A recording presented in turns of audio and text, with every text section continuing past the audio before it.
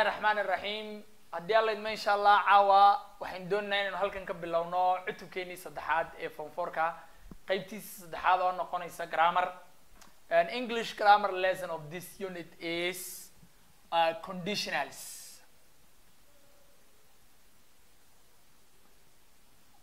Cutubkan saddexaad casharka grammarkan ku dhigana wuxuu noqon doonaa conditionals. Conditional sentence oo af soomaali noqonaya jumladaha ay shuruudda ku xidhan tahay. Conditional sentenceska magacooda labaad ee aynu u bixinayno ee loo aqoonsan doono waxaa la odhan doonaa if sentence. Waa sentencyada ay ifta ku jirto. Su'aasha koowaad ee u baahan jawaabtu waxay tahay conditional haddii aan isla garano ay af soomaali noqotay shuruudi ku xidhan tahay waa maxay sentenisku senteniskuna wax kale ma aha ee waa group of words. Waa kooxa kelmad ah oo isku tegay ayaa waxay sameeyeen sentence. Group of wordskuna waxay ka yimaadeen group of letters. Marka kooxaha xarfaa la isku geeyo waxaa soo baxaya words. Marka group of words la isku geeyana waxaa soo baxaya sentence. Marka waxay noqonaysaa af soomaali jumladaha ay shuruudda ku xidhan tahay the first question waxa weeyaan what's used for conditional sentence? Maxaa loo isticmaalaa conditional sentenceka ama maxay ka hadlaa conditional sentence talks about what could happen what might have happened or what we wish would happen. Conditional sentenceka waxaa loo isticmaalaa wax dhacay mustaqbalka ama wax dhici doona ama wax rajo laga qabo inuu dhici doono ayaa loo isticmaalaa conditional sentenceka conditional sentence have two parts. Conditional sentencesku waxay leeyihiin laba qaybood. Labadaa qaybood qeybta koowaad waxaa la yidhahdaa if close ayaa loo yaqaanaa qeybta koowaad. If closekuna waa conditionkii ama waa shuruuddii ayay noqonaysaa. Qeybta labaad iyadna waxaa la yidhahdaa main close main closekuna waa senteniska macnihiisu uu dhamaystiran yahay oo wuxuu noqonayaa result. Waa natiijadii dhalanaysay markay shuruuddu timaado. Marka conditional sentence or if sentence have two parts and they are if close and main close. If close is the condition and main close is the result. Tusaale ahaan oo kale waxaan qoraynaa if I work hard if I work hard I will succeed. I will succeed. Imika the first part of this sentence is called if clause because this sentence is the condition. Imika sentence ka hore waa if clause maxaa yeelay if buu ku bilaabmay waana shuruuddii uh, the second sentence oo ah I will succeed waa main closekii sababtoo ah waa natiijadii dhalanaysay haddii aada dadaalka la timaado. Haddaba conditional sentencesku siday u dhan yihiin labada qaybood bay leeyihiin. Waxaana ay ka kooban yihiin afar qaybood. Therefore haddaba there are waxaa jira four types of conditional sentence. There are four types of conditional sentence four types of conditional sentence. Waxaa jira afar nooc oo conditional sentence.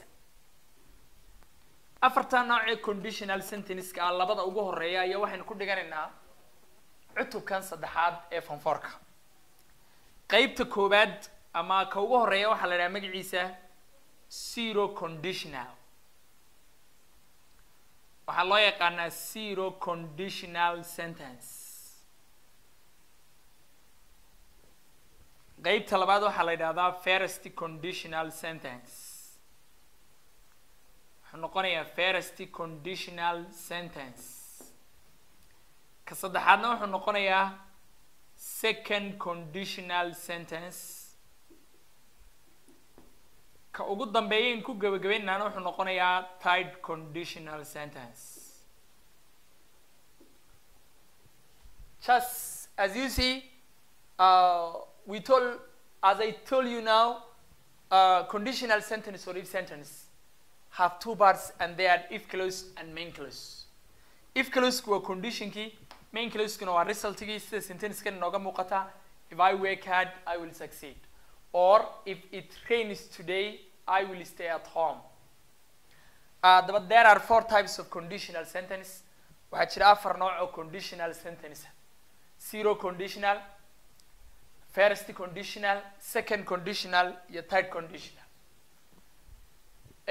Cutubkan waxaynu ku soo qaadanaynaa casharka ugu horreeya oo aynu odhan doono zero conditional sentencku waa maxay? Maxaa loo isticmaalaa zero conditional sentence. Su'aasha koowaad aynu ka jawaabayna waxa weeyaan maxaa loo isticmaalaa? Zero conditional sentence talks about general terrorist such as scientific facts. Wuxuu ka hadlaa ama loo isticmaalaa waxyaabaha xaqiiqda sida xaqiiqooyinka cilmiyeysan oo kale ama waxyaabaha runta. Tusaalahaan oo kale waxaan odhanaynaa i'm going to give you an easy example odhanaynaa haddii aad barafka dhalaaliso biyuu noqdaa. Waa xaqiiq barafku haddii uu dhalaalo inuu biyo noqonayo. Wixii sidaas ee run ah ayaa waxaa loo isticmaalaya zero conditionalka markaa zero conditionalku talks about wuxuu ka hadlaa oo loo isticmaalaa general true or terrorist such as scientific facts. And zero conditional sentence have two parts. Saynu hore u soo xusnay ama aynu hore u soo sheegnay zero conditional sentencku wuxuu ka mid yahay afarta nooc ee conditional sentenceka. Waxaan u leeyahay labadii qaybood ee ay lahaayeen oo qeybta koowaad ay noqonayso if close. Haddaba if closeka zero conditionalka oo noqonaya conditionkii shuruuddii waxaa lagu qorayaa tenniska magaciisa la yidhaahdo simple present ayay qeybta hore noqonaysaa simple present tense. Main closka ama senteniska macnihiisu dhamayska tiran yahay ee zero conditional sentenceka. Oo noqonaysa result natiijadii dhalanaysay markay shuruuddani dhacdo isna waxaa lagu qorayaa isla tenniska simple present tense. Oka simple present tennis ayay labada dhinacba noqonayaan zero conditionalka. Simple present tenniskana is used waxaa loo isticmaalaa what happens wax dhaca every day uh, every week every month every year every season or habitual action or repeated action. Waxaa loo isticmaalaa wax mar walba dhaca oo soo noqnoqda. Sidoo kale waxaa loo isticmaalaa factis waxyaabaha xaqiiqda ee dhabta marka maadaama simple present tennisku laba ficil caawiyo oo ah duandas labada sideba waana loo adeegsan karaa waana laga dayn karaa. Haddaba waxaan ku xigsiinaynaa formula of zero conditional. Waxaynu ugu horreysiinaynaa if plus subject waxaa ku xigi doona main fab present. Waa ficilkii weynaa oo xaadira waxaa inoogu xigaya object. Imika intaa aan qornay waa if closki waxaanay ku qoran tahay simple present main closkuna wuxuu noqonayaa isla simple present ayuu isaguna noqonayaa. Oo isna waxaa uga horeynaya subject. Subjectgana waxaa ku xigaya ficil presentia waa fabkio presentia waxaa ku xigaya objectka. Marka inta halkaa inoogu qoran waa formula of waxa weeyaan formula of zero conditional. Tusaale here is some examples of zero conditional. For example if the ice melts if the ice melts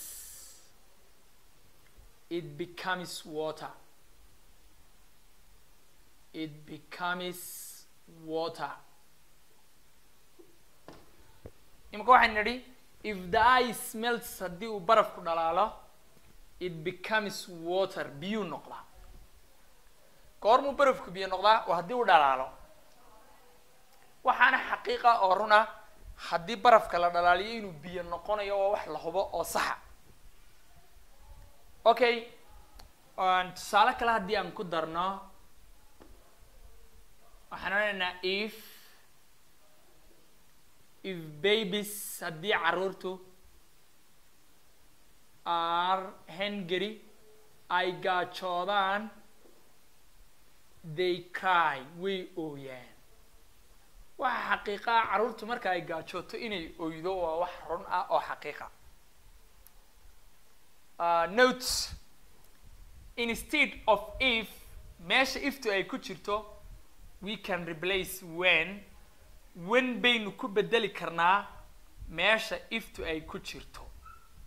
We replace when.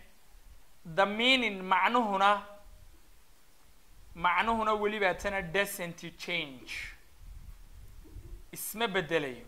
Oo halkaa imika aynu leenahay if the ice melts waxaad odhan kartaa meesha ifta when. Oo haddaad tiraa when the ice melts waa saxday. No problem. Waa sax waayo meesha ifta when waa lagu bedeli karaa zero conditionalka oo keliya maha wax oo dhan. Okay sharci kale ayaa isaguna jira oo odhanaya uh, condition can come before or after the result. Conditionka oo ah main closkii waxa weeyaan wuxuu iman karaa waxaan jeedaa conditionka oo if closkii waa laga horreysiin karaa resultiga oo main closkia waa la iswidaarin karaa if closki iyo main closka haddaba sharcigu wuxuu sheegayaa if the sentence begins if the if the sentence begins if the sentence begins haddii senteniceka lagu bilaabo if the sentence begins if close. Haddii senteniceka lagu bilaabo if close you have to put comma. You have to put comma. Waa inaad kooma dhigtaa at the end dhammaadka at the end dhammaadka of the sentence at the end of the if dhammaadka if waa inaad dhigtaa koomo. Haddii sentenisku uu ku bilaamo if close tusaale ahaan oo kale waxaan odhanaynaa if you press waxaan if you press if you press the break haddaad gaadhiga breaka qabato. If you press the break haddii aad gaadhiga breaka qabato xaggaa waa inaad dhigtaa koomo. Waayo if closki baynu ku bilownay the car gaadhigu stops u istaagaa maadaama sentenisku if close ku bilaabmay oo main closka uu dambeeyo at the end of the if close waxaan dhigaynaa coomo haddii aad if closka dambeysiisood main closka xagga hore ku qortana don't put comma. You have to make a connect sentence. Waxaad isticmaalaysaa in sentence xidhiidhsan oo bilaa coma oo haddii lagu bilaabo main closka zero conditional sentencku waa kaa imikana waxaan isla doonaa qeybta labaad oo noqon doonta first conditional intaa maxay uga jooji soma mayan babinaya inta soma ha. Casharka intaa ku jooji ha sessionka halkaa ku soo gabagabay ya way way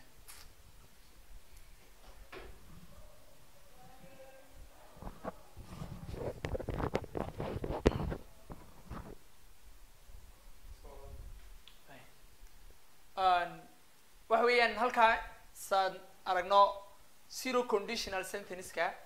Waxaan nidhi waxaa loo isticmaalaa waxyaabaha runtaas sida xaqiiqooyinka cilmiyeysan. And it has two main parts and they are if close and the main close. Uh, if closku waa conditionkii waa simple present tense. Main closekuna waa resultigu isna waa simple present tense. Waxaana loo isticmaalaa waxyaabaha runtaa I hope that you have just understood this lesson. Thanks for how well you have watched in this video.